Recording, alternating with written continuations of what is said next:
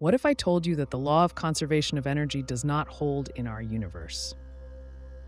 Yes, this basic and fundamental law, one of the very first we are told about in school, actually does not work, and in more than one way. And this is, of course, quite unfortunate because the law of conservation of energy is not only familiar and intuitive, but also deeply logical and natural. After all, what could be more natural than the assumption that energy cannot come from nowhere or vanish into nothing, but only be transformed from one form into another? Alas, the universe is not required to be the way we like, and its laws operate, or in this case, do not operate, regardless of how logical they may seem to us. And before we begin, I want to take this opportunity to thank the sponsors of the channel, here on YouTube and also on the pages on Patreon and Boosty. Friends, I am truly grateful to you for your support, thanks to which the channel can continue to exist and grow. I hope I will keep making interesting and educational videos for you about how the world around us works. You can join the sponsors by clicking the link that should now appear in the corner of your screen or by scanning the QR code. All necessary links will also be in the video description. Once again, thank you very much to all who already support the channel and to those who choose to become sponsors today. Now let's try to understand why it turns out that energy is not conserved. At school, conservation laws, such as the law of conservation of energy, momentum, and angular momentum, are derived from Newton's second law. It is fairly easy to derive that the change in kinetic energy of a body equals the work done by external forces. However, in reality, conservation laws do not follow from Newton's laws. It is the other way around. Newton's laws are a consequence of more global conservation laws. But even those laws are not fundamental or lying at the very foundation of our universe. They also, in turn, follow from certain properties of our world, specifically certain symmetries possessed by our spacetime. This link was mathematically proven by the German mathematician Emmy Noether in the early 20th century. For example, the law of conservation of momentum follows from the fact that the space of our universe is homogeneous. In simple terms, this means that the laws of physics are the same in all parts of the universe. If we simply move some physical system through space while keeping the external conditions the same, it should continue to behave the same way as it did before being moved. You can relocate a mechanical system, for example, a spring pendulum, to another point in space, and the pendulum will oscillate there with the same frequency as it did in the original point. In the language of mathematics, this means that when a system is shifted by a certain distance in space, the Lagrangian function of the system must remain unchanged. In addition, quantity derived from the Lagrangian function, known as the action, must also remain stationary. We talked more in detail about the Lagrangian, the action, and why this should be so in one of our previous videos, so I will not repeat it here. I will just say that from these two conditions alone, one can mathematically derive the law of conservation of momentum. I will simply leave the derivation here for those of my viewers who enjoy formulas. Another conservation law, the law of conservation of angular momentum, that is, the quantity of rotation, also follows from a fundamental spatial symmetry, namely its isotropy, meaning that our space has no preferred directions. Simply put, whichever way we look in our universe, we see the same universe governed by the same physical laws, and likewise, the behavior of our mechanical system must not depend on its rotation by any angle in isotropic space. And finally, the law of conservation of energy, which is today's topic, follows from a third symmetry, the homogeneity of time, that is, the fact that the course of a physical process does not depend on when exactly it begins. We can choose any moment as our starting point, and what we observe in an experiment will depend only on how long we observe, the experiment will give the same result now, in one year, or in 100 years. By the way, in addition to the three schoolbook conservation laws, there is one more, the law of conservation of electric charge, and it also relies on a certain symmetry of our universe, the so-called gauge invariance. This one is a bit less obvious. The idea is that the behavior of a quantum mechanical system must not change if we multiply its wave function by a phase factor of a certain type. Let me stress once again, Conservation laws do not exist independently. They follow from certain symmetries of space and time, and they hold only as long as these symmetries are present. And here lies the problem. In the case of the law of conservation of energy, its corresponding symmetry does not always hold. As we said above, to preserve energy, we need time to be homogeneous. In other words, we need the conditions in our universe to remain unchanged over time. But we know with certainty that these conditions do change, and sometimes quite significantly, because the universe is expanding and the conditions within it gradually shift. In the very distant past of our universe, there was a time when the four familiar fundamental interactions gravity, electromagnetism, and the strong and weak nuclear forces did not yet exist. Instead, there was some unified interaction about which we currently know almost nothing, but we are trying to understand how it might have worked. Later on, there was a time when our universe was so dense and hot that light could not propagate through it. Its photons were absorbed almost instantly after emission and re emitted only to be absorbed again right away. Changes, though not so dramatic, are still happening today. Distances between stars and galaxies continue to increase, the average density of matter drops, and so on. A classic example of the violation of the law of conservation of energy in an expanding universe is the cosmological redshift, a phenomenon in which light emitted millions or even billions of years ago reaches us with a longer wavelength than it had when it was emitted.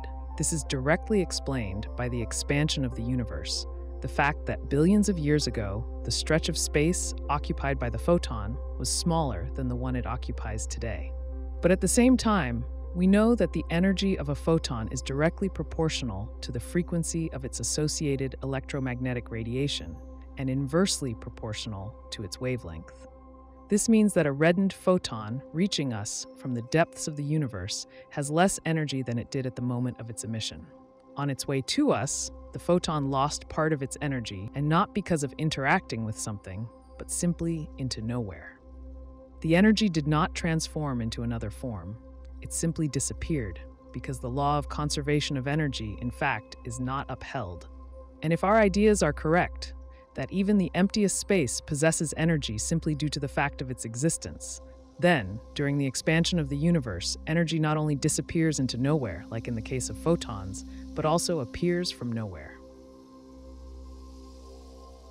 Does this mean we should throw away all physics textbooks based on the law of conservation of energy? Of course not. Knowing the conditions under which the law works and under which it does not, we can still use it to solve physical problems and get correct results. And that is exactly what we need physical laws for. And as for the law of conservation of energy, it can be confidently applied over very broad ranges. Essentially, in all situations we encounter in modern physics, except perhaps for certain domains like astrophysics and cosmology. In essence, on the scale of millions or even billions of years, the expansion of the universe influences conditions at any particular point so weakly that we can neglect these changes and treat time as homogeneous and energy as conserved. As an example of non conservation of energy in the universe, we mentioned the energy loss of photons due to redshift. So consider this a photon with an initial wavelength of 500 nanometers would, at the current rate of cosmic expansion, need 140 million years for its energy to decrease by roughly 1%. In other words, the law of conservation of energy holds with high precision on timescales far longer than the entire history of humanity, and in nearly all practical cases, it can and should be used. Though one must still keep in mind that this law, while useful, is still only an approximation, and on cosmological scales of time and distance, it does get violated. More precisely, it is not just on vast time and distance scales that the law is violated. On very small, subatomic scales, it also does not entirely work, or rather works in rather strange ways with significant caveats. The point is that in quantum mechanics, which describes such systems, there is what is called the uncertainty principle, which prevents us from simultaneously determining certain pairs of parameters precisely. The most common example is the momentum of a particle and its position, but the same applies to the energy of a quantum mechanical system and the time it remains in a state with that energy.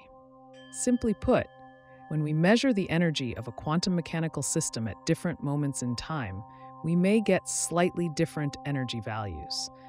And the more frequently we measure the energy, that is, the smaller the time intervals between the measurements, the more strongly the energy can vary from one measurement to the next. In fact, the shorter the interval, the greater the possible difference in values. This phenomenon is known as quantum fluctuations, and because of them, we may again encounter situations where the energy of a quantum system seems to come from nowhere or disappear. In other words, the law of conservation of energy appears to be slightly violated, and this violation becomes more noticeable the shorter the interval between measurements and the smaller the energy itself. For an electron in an atom, quantum fluctuations in its energy would become noticeable if we performed measurements at a frequency of about 10 to the 17th power times per second, which far exceeds our current capabilities.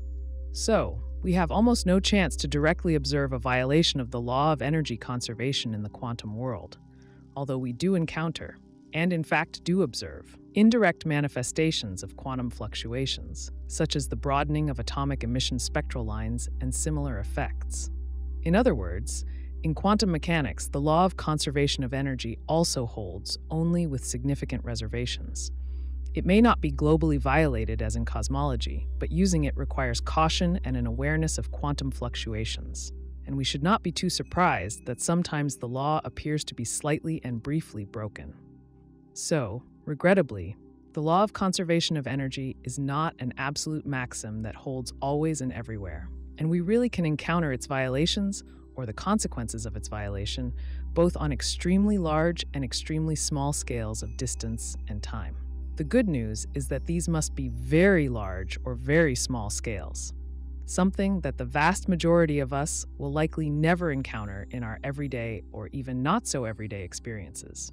So, in everyday life and in most of physics, the law of energy conservation holds true, and we can base our reasoning about physical processes on it, while keeping in mind that even this law has its limits of applicability beyond which it stops working or begins working in ways not quite like what we are used to. At the same time, it is not uncommon for physicists to attempt to modify the law of conservation of energy.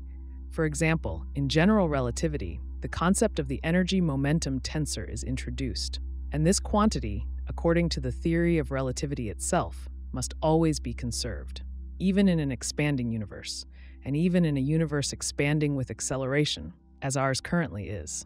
In fact, in any universe where relativity holds, that is, we cannot fundamentally demand conservation of energy or momentum individually, but we can demand that a certain relationship between these quantities be preserved. However, the fact that it holds in more situations does not mean that it holds fundamentally in all situations.